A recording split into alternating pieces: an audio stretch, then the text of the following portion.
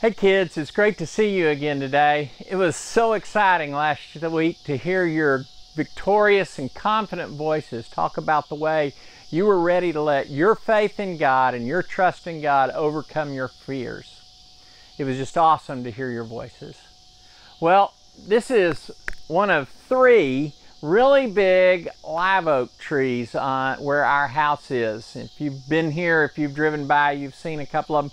This one's way back in the back. There's actually a family of raccoons that live up in here, so Sam always has to run out here and bark at the raccoons every day. But this uh, oak tree didn't get here easily. Uh, it had to overcome all the other things that were along the creek here, and it spent a really long time growing.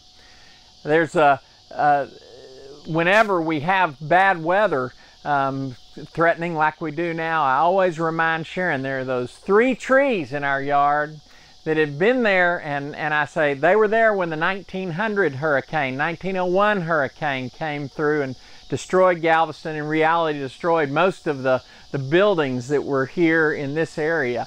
Uh, nothing was left after that. But these trees, these three trees, were still here. They were here. They were smaller, but they survived it. They didn't let the storm carry them away. Well, I'm wanting to remind you, you've gotten started and it sounds like it was a good week at school. And now we have this word about this storm that's in the Gulf, two storm that's in the Gulf, and they, everybody's talking about how, how that has hardly ever happened. And we may just kind of want to throw our hands up and say, ah, there's just too much. I can't overcome it.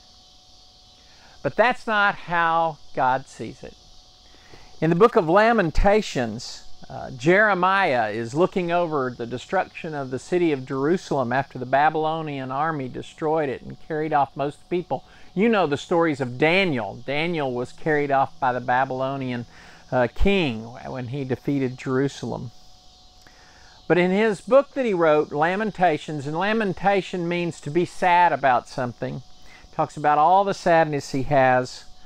But then he says this I have hope when I think of this.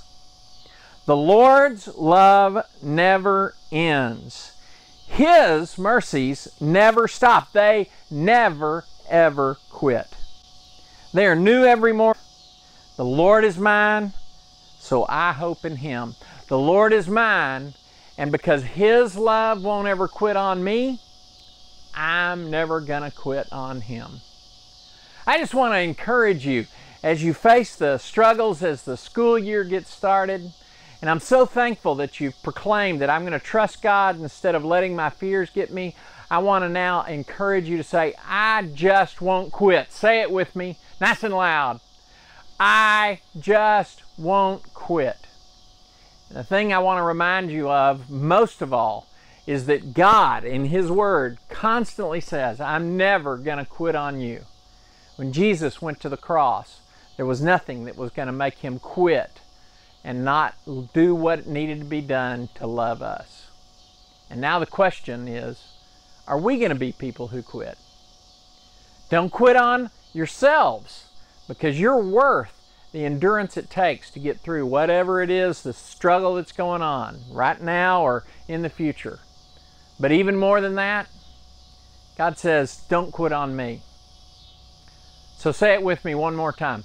I'm never gonna quit. And let's just add one thing to it. I'm never gonna quit on God.